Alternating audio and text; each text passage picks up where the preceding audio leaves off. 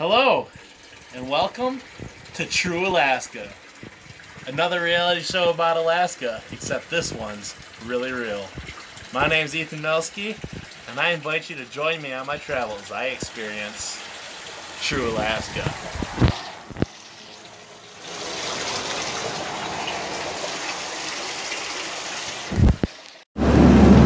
Well, here we are. Just dropped off old Mountain Goat Mike at the airport here in Anchorage. He's flying back to Michigan. Go back to his life, you know. But for a man like me, the road really never ends. So I'm heading south again, heading back. Uh, I haven't decided actually. For too long here, I gotta check the fishery reports. I reckon I'll be heading back to Seward. Try to snag me some more reds. Seward you can get 12 a day and uh, Russian or Kenai you can only get free. So I'd much rather be catching them out of the Russian. Uh, way more fun fishing style, a lot more enjoyable, but if I can get 12 fish a day, I want to get 12 fish a day because I'm trying to, trying to fill that freezer, you know, I'm just trying to subsist up here in Alaska.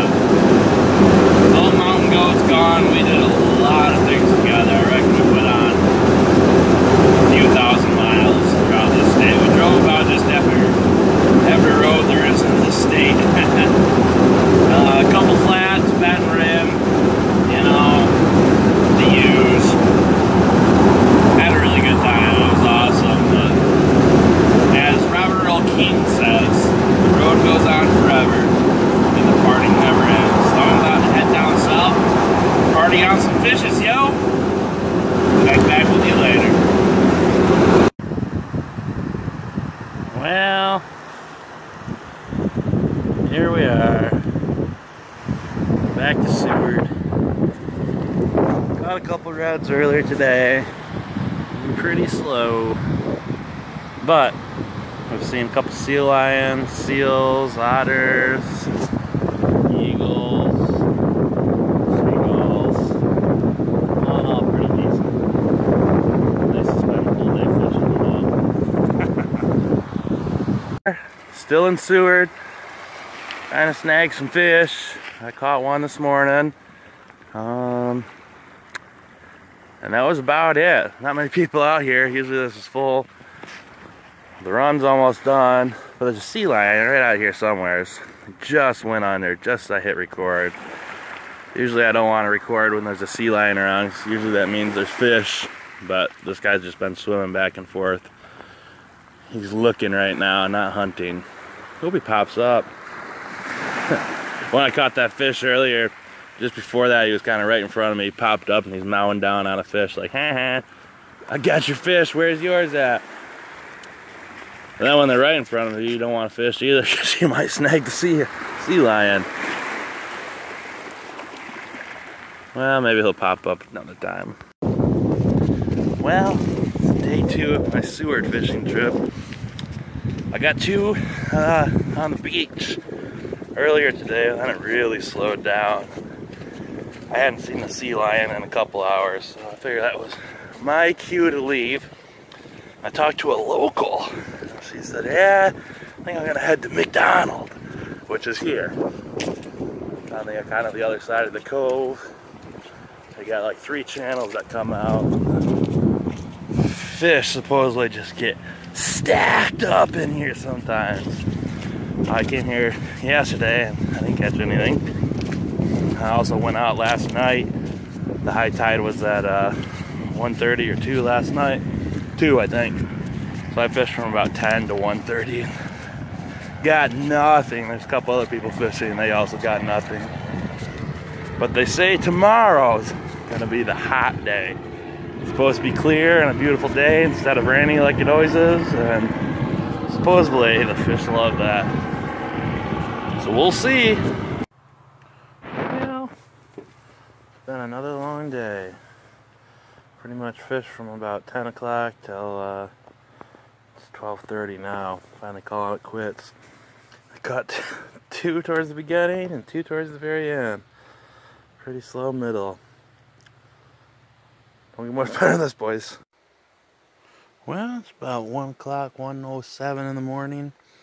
Got all my slabs all filleted up. Woo-wee. Got a couple in half there. Give away to my friends. Not most of my friends up here aren't actually from Alaska either, so not everybody gets a chance to eat some good Alaskan reds. I figured uh, not everybody likes salmon either, so they need to at least try a little piece. So there's four fish there. I got two in the cooler and one more back at home in the freezer. Finally starting to get some meat. It's good feeling. Hit it again tomorrow and then it's back to Fairbanks. Back at the old MacDonald Creek. Getting pretty good at this technique. Basically a robot now. Whip it in, jerk it hard, whip it again, jerk it hard. And I know it seems stupid, but I watched a guy catch like 24 of them down here last night, right in the spot. I came after him a little bit and I caught two. Right now everybody's out on the ocean, it's low tide. I never seen anybody do any good out there, so I figured I'd try this spot. But the tide comes in all that way, all the way back to there. It's pretty wild. When it starts coming in, comes in hot. Well, hopefully we do good today. It's not raining for the first time ever that I've been in Seward. Uh, it's looking promising. Well, even I have to take a break from fishing sometimes. Fishing's been a little slow today. I started out in the channel, didn't get anything over there. We're catching flounder. That was it. Um, not very big ones in that either. So I came over to the beach. Nice pretty day. I got a perfect log to kick back and relax on. Eat a sandwich. Caught two over here. I just caught one not too long ago. Sea lion came by I see him jumping. Run down there and bam, three casts later got one. So that's pretty fun when you can fish like that. It's just about high tide, so it usually slows down reaches high tide. Just before and just after, it's usually pretty alright. Hopefully we'll get my limit today. Once again, I forgot to show my catch, but four fish, one little one, one real nice one, couple mediums. It's down here by the river, filleting them up. Get them all cleaned off, and the cooler. Not bad for half a day's worth of slapping. About to head out to the next spot.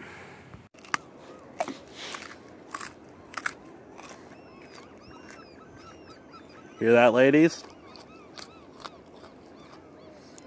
They say ladies love a carrot eater. well, been a pretty good trip here to Seward. Might be my last night. Might try it again in the morning, but I gotta be uh, tomorrow Sunday. Gotta be back to Fairbanks. About eight hours or so from here, and I am tired. I've hardly slept the last couple nights. I just can't bring myself to do it because I keep thinking, well, this next tide's gonna be hitting hot. Gonna be hitting hot. meant to take a break today. I got out, I cleaned my fish. Was gonna take a break and then I realized it's only two hours before low tide. I gotta get out there. Which is a good thing I did. I'm back here to McDonald Creek. Fishing the channels again. It was kind of fun earlier, uh, just as the tide was getting pretty low.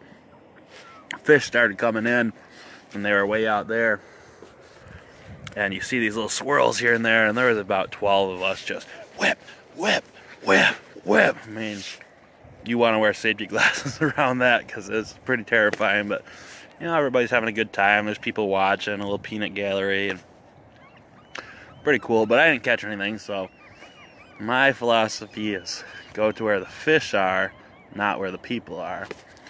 So I started wandering down to last night's hot spot, and I seen this guy catch one boom. And I was pretty far away. I keep on walking towards him, and boom, gets another one. I get up pretty close, and says, "Yeah, you can have this hole if you want." Yeah, I caught my limit here last night, and I'm gonna go check out another hole. oh, oh yeah. So he told me what to do, and within like three casts, boom, got one. And I fished a little more, fished a little more, and I seen one coming up, and I whipped it, whipped it, whipped it, whipped it, and missed them, and went back to that hole, and the fish had gone back to the hole. Bam, got another one. So I'm up to four, six fish today. Oh, every day I'm getting two more, two more, and I got high hopes. It's exactly low tire tide right now, so I'm gonna stick out another two, three hours. We'll see. See if they start hitting hot again once the tide starts coming in. But Seward, Alaska is not disappointed. It's been a lot of fun. And no rain today. Don't get much better than this. Especially with some Alaskan grown carrots. Just wish Greg Slamming Salmon was here. well, this is worth getting on video. There's, man, can't see them. There's one. Um, over here, behind that seagull, there's 1, 2, 3, 4, 5, 6, 7, 8, 9, 10, 11, 12, 13, 14, 15, 16, 17. At least 17 eagles flying around, bald eagles. Don't get to see that everywhere. Guess it don't really get much better than this. Unless, of course, it had been less than three hours since I caught a fish. well, Seward. Man, I fished a lot of hours. I am beat, my body's torn up, my shoulders in pain, my lower back's in pain. I got wet socks off the wazoo. It's been a trip. I got 12 fish in the cooler, which is only one day's limit. I fished about 15 hours for three days straight. Uh, but I'm happy, very happy. Glad I got to experience that. Glad I got some meat for the freezer. Uh, hopefully I'll get one more chance to do some salmon fishing this year. Next step, moose season. Actually, sheep. Quest never ends for me. Well, here's the final total here. 12 fish. I ran out of bags at the end, so I had to freeze a couple whole, or put them in the cooler hole anyhow. But I've seen some native guys doing it like that, so I figured it wouldn't hurt to have a couple whole ones and see what the heck I do with them. Time to Pinterest it up, yo. Get much better than that.